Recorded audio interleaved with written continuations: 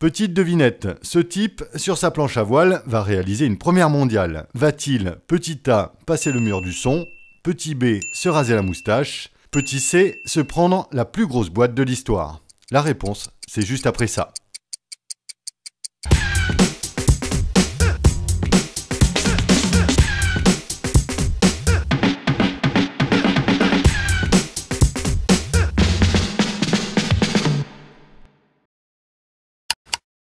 Cette semaine, il y en a pour tous les goûts, du stand-up paddle au Brésil avec les résultats du World Tour, du surf avec les images de la mythique Sunset Beach pour la deuxième étape de la Triple Crown, un plan insolite avec un windsurfer qui se fait la sur sa planche, et pour finir, du rêve avec une bien belle session en kite dans les vagues de Maui. Allez, top en images, la réponse de la devinette de la semaine.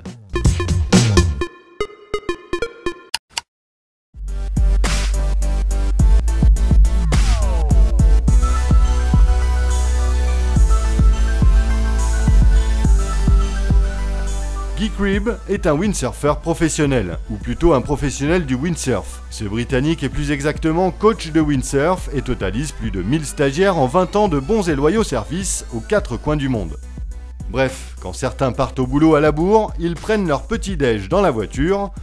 Ben lui, quand il est à la bourre, il se rase sur sa planche, comme ça, il est à l'heure pour ses stages. Enfin, tu me diras, cette moustache, euh, fallait l'enlever, hein.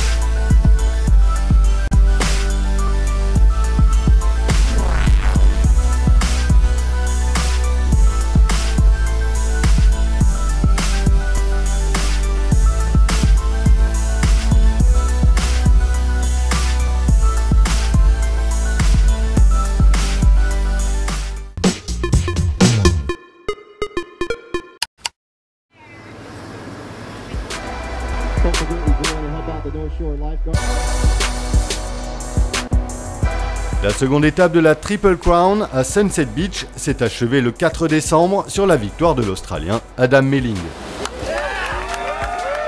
Dans de belles vagues typiques du spot, les puristes parleront de classique Sunset, voici ce qu'il faut retenir du contest. Grâce à cette victoire, Adam Melling gagne sa place sur le World Tour 2013. Avec sa troisième place, Sébastien Zitz conserve la tête de la triplette. Les Français Jérémy Flores et Michel Bourrez ont pas mal marché en atteignant les quarts de finale. Et pour finir, le Brésilien Gabriel Medina prend la seconde place ici à Sunset et prouve qu'il sait faire autre chose que des airs dans des vagues de 50 cm. Mais à quelques jours de la dernière étape de la saison, le petit monde du surf est tendu comme un string. Qui sera champion du monde? Parkinson ou Slater? Tout se jouera à Pipeline du 8 au 20 décembre prochain. Et n'oubliez pas, toute la compétition est diffusée en live sur le web et cerise sur le gâteau, c'est en soirée, décalage horaire oblige.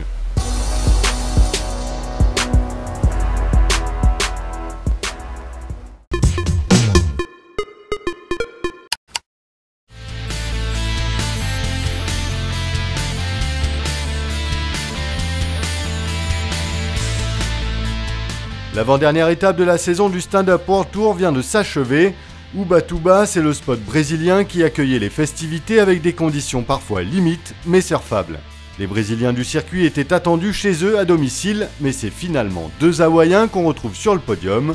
Kaeleni à la troisième place et surtout le tout jeune Mo Freitas, 15 ans à peine, qui remporte l'étape. Le local Leco Salazar sauve les meubles et prend une belle seconde place.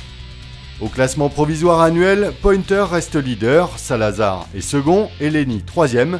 Tout est encore possible pour le titre mondial, ça se jouera aux îles Vierges à partir du 11 décembre prochain.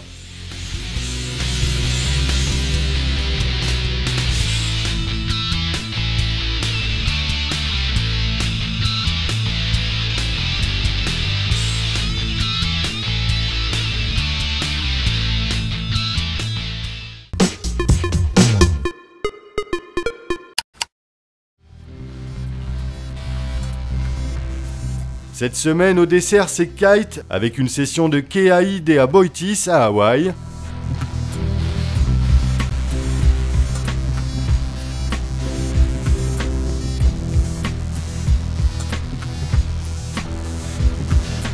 À 19 ans, l'Australien est un des kitesurfers les plus inspirés de sa génération. On le voit ici à l'œuvre en strapless dans les vagues de Maui. Paraît qu'il est aussi à l'aise en sup et en surf, mais doué comme il est, on y croit. En tout cas, ce qui est sûr, c'est qu'à chaque session, il nous vend du rêve. Sur ce, bon ride et à la semaine prochaine.